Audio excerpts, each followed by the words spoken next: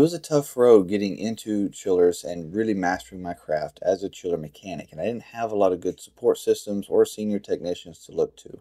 And I don't think this is good for the industry as a whole and chiller mechanics like yourself trying to come up and grow in this industry and be our next generation of mechanics out there in the field keeping this equipment online. And I don't think it needs to stay that way. So I created Chiller Academy to help in that process and give a resource for you to be able to look to to get support, to get the help you need, and to get some really good education around chiller systems and the whys, the why nots, how things work, and what you should do in order to improve yourself and your craft. And all the courses in here are built to go with you in the field and be alongside you as you're working on the equipment to help guide you through the process.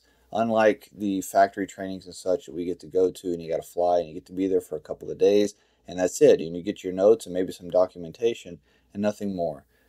These courses are built to fix that and actually have somebody that can go with you while you're there, walk you through whatever the concept is, whatever your situation is, and then have a community on the backside of that. These courses have a community that you can go to, that I am there personally, and other chiller mechanics are there and we're there to help support share information knowledge troubleshooting whatever it is. If you're tired of struggling with chillers and not understanding the concepts or what things are even called what terminology is used and you're fed up with just banging your head into the panel really trying to get your head around it really trying to do a good job then find a course in here that meets you at where you're at and it's going to help you get started and get supported if you're really starting off in a very basic level and you don't understand most of the terminology that you come across or you couldn't explain it to somebody else, I'd recommend the introduction course to you. We're going to go through a lot of that stuff, but the other courses are also built to be more in-depth, advanced courses around service. And if you'd like to know anything about me,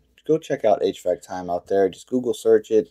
I'll come up. I've got six years of my service and field life documented where I was going through and just doing exactly what you do every day. So I'm Holden Schamberger. I'm here to help you through this process. I want to see you be just as successful as I was able to be in this career. And through all this process, MTT, make the time for your family, for your spouse, for your kids. They really need you. This is a tough industry, but if we don't make the time, there'll never be the time. I really appreciate what you do.